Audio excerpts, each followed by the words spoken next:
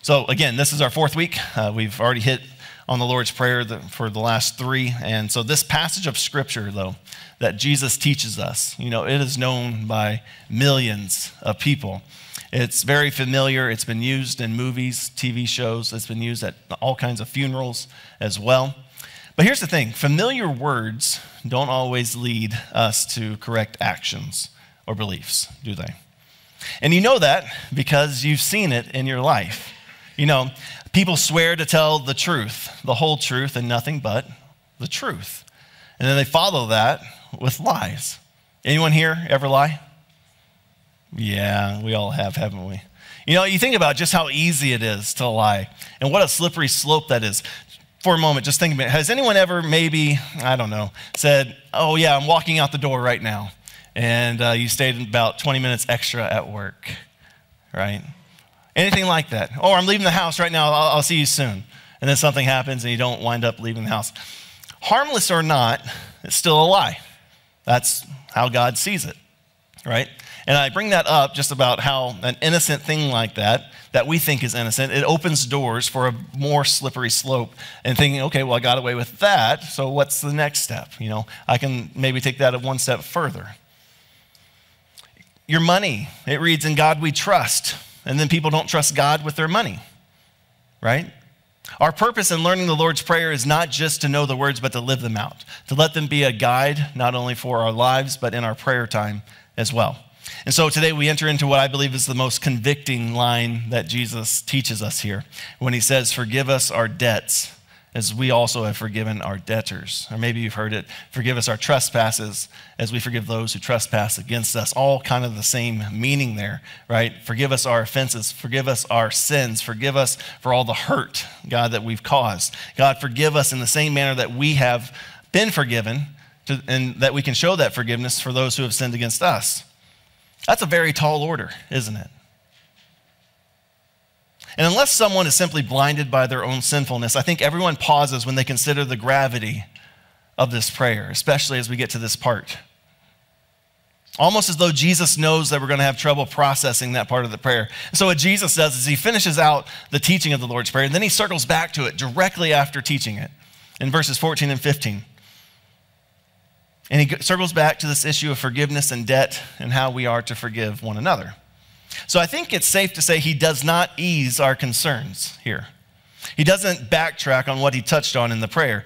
What he really does is he doubles down on the supreme importance of forgiving one another. Jesus is starting to wrap up this teaching of teaching the disciples how to pray. I think most of it's pretty straightforward, right? Our Father who art in heaven, hallowed be your name. We have a loving Father who's created us. Hallowed be your name. Keeping that name hallowed. And we talked about what that means in the first week of this series. And then we talked about, uh, Seth had a great message on uh, thy kingdom come and what that means. That God's kingdom has come in Jesus once, and that's why we know these promises for our lives. We know God is faithful, but we also pray for God's kingdom to come and that His will be done in our lives because His will is far better than ours. And last week we talked about daily bread, and all those things that God blesses us with. We talked about rehearsing the goodness of God as well in our prayer life, uh, reminding ourselves just how good God has been to us. I think that's really important because it reminds us again of the faithfulness of God. So, all these up to this point have been fairly intuitive for the people of God to pray. But when Jesus teaches us about how we ask God for forgiveness, there is a massive curveball. And the question becomes why should we pray like that? The answer to that question, Jesus in Matthew 6, 14 to 15, that's that verse that he wraps back into the prayer. He says, For if you forgive other people when they sin against you, your heavenly Father will also forgive you. But if you do not forgive others their sins, your Father will not forgive your sins. To put it as clearly as possible, if we refuse to forgive other people, the Father will not forgive your sins. I don't know how to be any clearer than that. Jesus is being that direct and that straightforward with us today. It's pretty high stakes, isn't it, when you think about it? Why is this one thing so critical to Jesus that he would go as far to say this? Well, this is why. Because forgiveness of sins is at the very center of everything that God has planned from the very start. It's the very center of everything that Jesus came to do. I mean, Jesus is given the name Jesus according to Matthew 121 because he will save his people from their sins, right? And how does he save us from our sins? By dying for us on the cross, dying for our sins, and thus securing our forgiveness. Matthew 26, 28, Jesus institutes the Lord's Supper. He says, This is my blood of the new covenant, which is poured out for many for the forgiveness of sins. This covenant that God has established with us through the sacrificial death of Jesus is all about forgiveness. This was Jesus' entire mission. The reason the Son was sent into the world to save the world and not condemn it. It was a mission of forgiveness. So I want to take just a few moments here, a few minutes to expand upon this because I think it's important to understand just how central uh, this whole thing is to God's heart. Forgiveness is not only the plan and not only the mission of God and Jesus, but it's the eternal plan. It's the eternal mission of Jesus. At the very beginning of Ephesians 1, Paul lays out uh, amazing eternal and spiritual blessings that we have in Christ. The plan of God to save and forgive and to make a way back to heaven for his people. And these spiritual realities all wrapped up in this word forgiveness. And so Ephesians 1 3 to 6, it says, Praise be to God and Father of our Lord Jesus Christ, who has blessed us in the heavenly realms with every spiritual blessing in Christ. For he chose us in him before the creation of the world to be holy and blameless in his sight. In love, he predestined us for adoption to sonship through Jesus Christ in accordance with his pleasure and will to the praise of his glorious grace, which he has freely given us in the one he loves.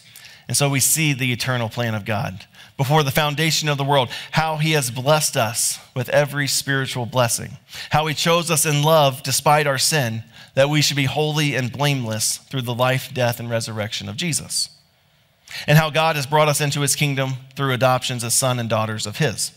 That sounds like a God that's worthy of our praise, right? Absolutely. But in the midst of all these amazing blessings is the blessing of forgiveness. Going on in verse 7, it says, In him, in Jesus, we have the redemption through his blood, the forgiveness of sins in accordance with the riches of God's grace. And I love this part that he lavishes upon us. With all wisdom and understanding, he made known to us the mystery of his will according to his good pleasure, which he purposed in Christ to be put into effect when the times reach their fulfillment, to bring unity to all things in heaven and on earth and under Christ. So, part of the eternal package of grace that we have is through Jesus and the redemption and the forgiveness that he offers to us. We're redeemed by the blood that he spilled. And our trespasses and our sins, they are forgiven. Those blessings that we have were the eternal plan of God. So, forgiveness is a huge deal, especially when it comes to God. Anyone ever received a care package before? Maybe in college, military, at camp? Anyone? Me? I did. Freshman year of, uh, at the University of Wyoming, really far away from home. Uh, I got a taste from home. My parents sent me this really nice care package with all of my favorite things in there, all my favorite snacks. And while it didn't last more than 30 minutes, because I went through that pretty quickly, uh, it was just amazing, right? All my favorite things were in there. This gift of forgiveness is like an eternal care package that God has sent for us in Jesus. And the best part is it never runs out right? You can never out sin God's grace. You can never out sin God's grace. Now, does that mean that we should just go on sinning in our lives, right? Oh, God's got this covered, right? Paul would say, by no means, right? We don't take advantage of this grace that's been given to us. Instead, we know as Christians, we know through faith that when we do mess up, we can return to a loving Father who offers this to us. And the best part is, God doesn't leave you wondering. He tells you right then, right there, when you confess your sins, that you are forgiven, that you are loved, that you are His child. It's like the package is Jesus, and all the stuff inside are these good things that we've received as a result of having that forgiveness that was won for us by Jesus. And because forgiveness is the eternal plan of God, there's a sense in, in which we need forgiveness. Uh, it drives the entire storyline of the Bible. God creates everything in Genesis chapter 1 and 2, and he calls it very good. And then the very next chapter, Adam and Eve sin against God, violating his command.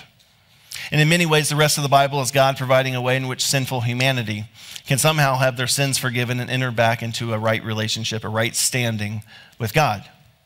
And sacrifices for forgiveness, they start early in the Bible. They are primitive, with the head of the family basically acting as the priest for the family. You remember the story of Job.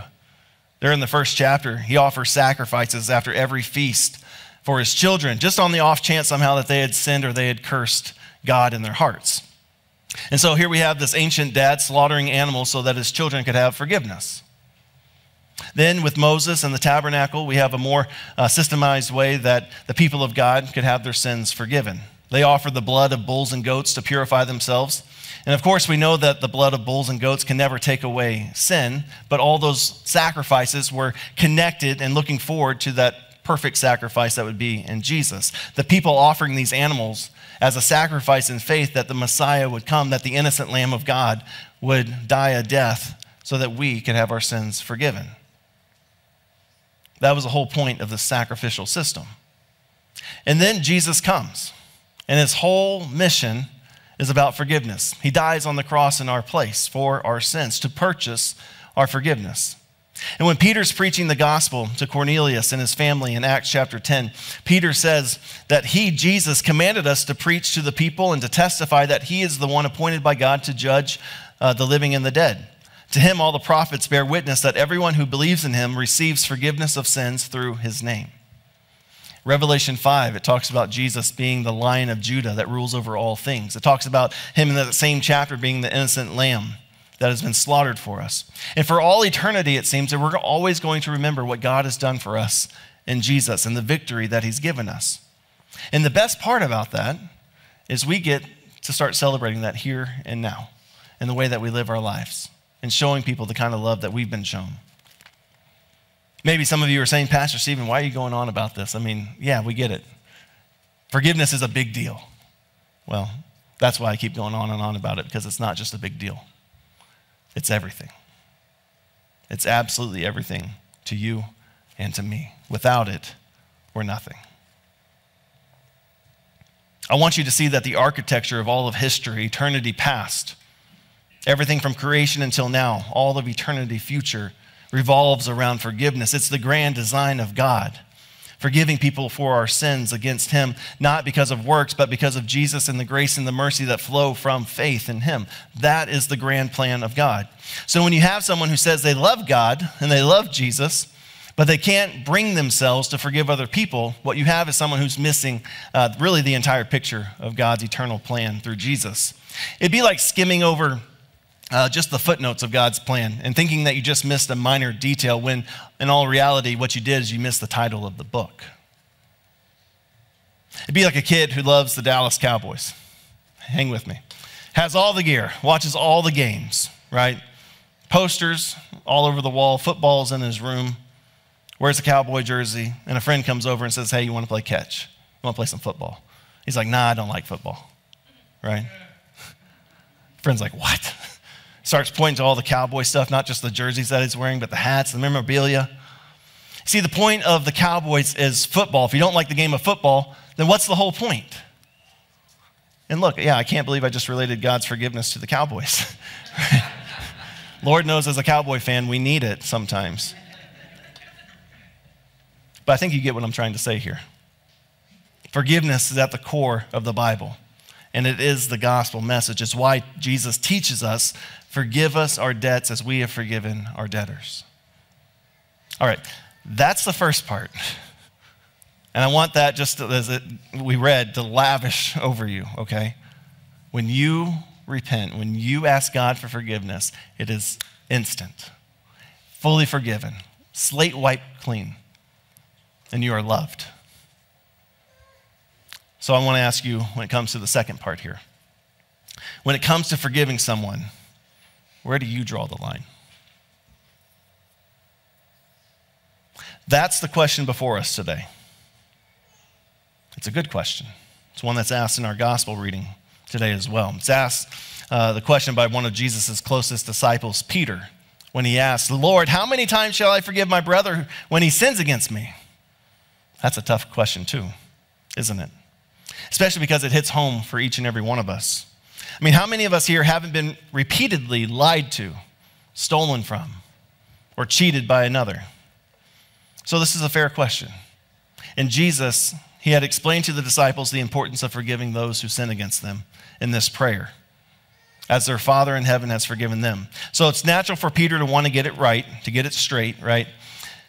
And so you can imagine him being like, okay, Lord, but how many times am I supposed to buy this sorry stuff? When they do it again and again and again. That's really what Peter's asking. When is enough enough? What about you? Have you ever asked that in your life? I have. What answer did you come up with? Still working on it? Peter was ready with his. He said in verse 21 Up to seven times, Lord? Should we even forgive someone that much? You know, I love Peter. I really do. I like reading his stories. I can't help but picture him kind of puffing his chest out when he said this. I bet he thought he was being far too generous, even for Jesus, especially since the Jews were kind of known for the three strikes and you're out uh, program. So seven times was well more than double the competitions. So imagine his shock when Jesus answers in verse 22 that I tell you not seven times, but 70 times seven. And by the way, that's a better translation than the NIV of 77 times that you'll find. So if you're already got the count up to 76 on someone, you're ready to cut them off at 77, well, you still have about 414 more times to go. And I know that's disappointing for some of you, right? Especially as you think about that person you're thinking about right now who deserves to be cut off. But if God were sitting up there right now with this chart in his hand, counting off all the crimes that you've ever committed against him, even at 490, how many counts do you think he got left? Obviously, Jesus isn't meaning to be taken literally here. Here's the point that he's making there's no limit to God's forgiveness. And that means there should be no limit to yours as well. Forgive, he says, as I have forgiven you. Now, with this teaching, there's a really important part that we need to talk about, okay? Forgiveness should be offered at all times. You know, many times when, when you withhold forgiveness, it does more harm to you than it does to the person that you're withholding it. The weight that you carry, the anxiety that you have over it. It's a lot. The stress. And what God is saying is let that go. Forgive as I have forgiven you. Now, I say that, and God, He wants us to do that. However, there is a little point here that if you are in a relationship with somebody, if you have a friend, and they are continually causing you to sin by what they're doing, they are continually hurting you emotionally, physically, spiritually, God says forgive. Absolutely. But there are things called healthy boundaries that you can set up to make sure that you don't continue to fall into these sins, right? That you don't hold that weight, that you don't hold that resentment. You can forgive somebody and love them from afar. You can be there ready and willing to share Jesus with them whenever they're ready. But forgive as I have forgiven you, Jesus says. And he drives home this point right after telling Peter all these things in the parable. Matthew 18, 23, we read that therefore the kingdom of heaven is like a king who wanted to settle accounts with his servants. As he began the settlement, a man who owed him 10,000 bags of gold was brought to him. I don't care what day and age you live in, 10,000 bags of gold is a lot of money, right? And a lot of gold. In fact, it's equivalent to about 15 years of wages. And we aren't told how this man ever came to owe this much, but the point is this man had a history a history of borrowing without repaying. And now he owed more than he could ever hope to pay back. And so we read on, Jesus is telling us this parable. He says, Since he was not able to pay, the master ordered that he and his wife and his children and all that he had be sold to repay the debt. Quite the repayment plan, isn't it? The servant fell on his knees before him. Be patient with me, he begged, and I will pay back everything. And the servant's master took pity on him, canceled the debt, and let him go. So obviously, Jesus is making a couple of comparisons here. Did you notice the similarity between the master and God? How about between you and the servant? Every single sin of our lives is a debt owed to God. So take a moment and count them up. It's way more than 490, isn't it? Aren't you glad that he's not keeping track? Then why do we? How come we keep the track of the sins of others? See, that's kind of the point of this parable. While this master had all the power to take away the servant's freedom forever, he chose instead to use his power to forgive. And this is what Jesus meant when he said, Forgive others 70 times seven. Don't do like the servant went on to do. Instead of appreciating this incredible forgiveness of his debt and in gratitude, then going and forgiving others, this guy, he went on the hunt for someone who owed him money. And when he found him, he started beating on him, trying to get that one day's wage owed to him. 15 years forgiven. And he goes and tries to get one day's wage from someone else. Pretty sad comparison, isn't it? Compare what God has forgiven you and me for, and for what we sometimes refuse to forgive others for. It could be for a whole host of reasons. As we often say, we're trying to protect ourselves from getting hurt again, or it's because we truly believe we don't believe that the other person's sorry, or maybe it's because we kind of just like the power that we wield when we don't forgive. I remember a story that my mentor, many of you know, Pastor Marty, had shared with me, and many of you have maybe heard this before, but it comes from a book that he shared with me called Will Daylight Come? And it's by Richard Hoefler.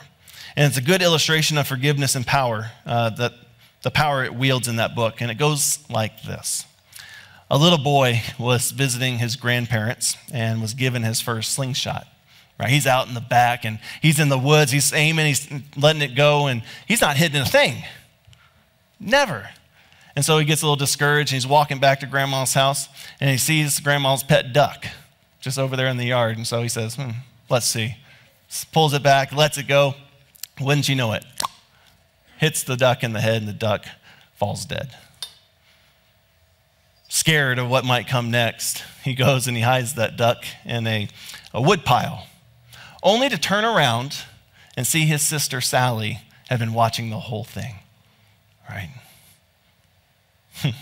After lunch that day, Grandma had uh, said to Sally and this little boy that she needed help washing the dishes. And Sally piped in and said, Johnny wants to do it, don't you, Johnny? Whispering, Remember the duck. So Johnny did the dishes. Later, Grandpa asked if the children wanted to go fishing. Grandma said, I'm sorry, but I need Sally to help make supper. Sally smiled and said, Oh, that's all taken care of, Grandma. Johnny wants to help do that again. And again, whispering, Remember the duck. Johnny stayed while Sally went fishing. After several days of Johnny doing both of his chores and Sally's, finally he couldn't stand it anymore. He confessed to Grandma, I killed the duck. And Grandma's reply was, I know, Johnny. I was standing at the window. I saw the whole thing, right? Because I love you and I saw immediately how sorry you were, I forgave you. I was just wondering how long you were going to let Sally make you her slave. Refusing to forgive someone is an abuse of power because it takes away their freedom. It enslaves them and puts them behind bars. It keeps them from growing and knowing the freedom of forgiveness.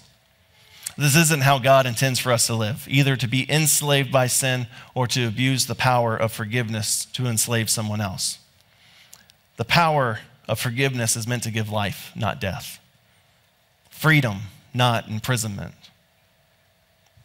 There was a very famous Christian theologian, St. Augustine, who did something unique on his deathbed. He had one of his friends paint on the wall opposite of his bed uh, the words from Psalm 32, 2, that said, Blessed is the man whose sin the Lord does not count against him. And as Augustine laid there, reading those words again and again as he died, all the while being reminded that his debt to God had been canceled. Knowing that through the death and resurrection of Jesus Christ, he was forgiven and could, in peace and confidence, move from this life to the next. That's power. Is there anything more important in this life than to know that when you ask God for forgiveness, that you are given it instantly. That He hears you, that He sees all the bad that you've done, yet in love, through what Jesus has done, He calls you His child. 1 John 1 8 to 9 reminds us if we claim to be without sin, we deceive ourselves. That's that old uh, metaphor, right? If you point at somebody and point out their sin, how many fingers do you have looking back at you? Three. If you claim to be without sin, you're only deceiving yourself, and the truth is not in you. But if you confess your sins, it says God is faithful and just, and he will forgive us our sins and purify us from all unrighteousness. So I don't know about you, but I'm so thankful for every promise that God gives us, how faithful He is to those promises, but how many He gives us in the Bible about forgiveness. If He kept a record of your sin, of any of our sins, none of us could stand before a holy God. But because of Jesus, we stand holy and blameless in His sight, and our sins are removed from us as far as the east is from the west and placed on the cross of Jesus, on Jesus Himself. And we need his strength. We need this power to fulfill one of God's most beautiful requests that he makes through the apostle Paul in Ephesians 4:32. He urges us, be kind and compassionate to one another, forgiving each other just as in Christ God forgave you. How would our world look different if we lived this out? How would marriages look different if we forgave the way that Christ forgives us? There's a man in history who lived by these words He was a man of incredible power, and there's a story told of when Louis XII became king of France. He created a list of all of his enemies. On this list, he marked against each of their names a large black cross. When word went out that he made a list, all of his enemies ran. Because think about it to be on a list that the king has made with a little mark next to your name probably doesn't give you a very easy feeling, does it? Always looking over your shoulder but Louis XII, hearing about their fear, sent word to each of them, letting them know that he had pardoned them. That cross beside each of their names was a reminder of the cross of Christ. If Christ could forgive them, he figured, so could he. So that's my encouragement to you this week. In your prayer time, pull out a sheet of paper. Start with your name, write it down, make the sign of the cross next to it. Remind yourself that God completely and fully forgives you. And then write that name down. You know the name of the person you're having trouble forgiving. And then put a cross next to that name. No matter their crime, no matter their history, put a cross there. That's your reminder of what God and Jesus did for that person too. And that's forgiveness. That's power, real power. And it's why Jesus can help us when we pray. Forgive us our debts as we forgive our debtors. It's in his name. Amen. Let's pray.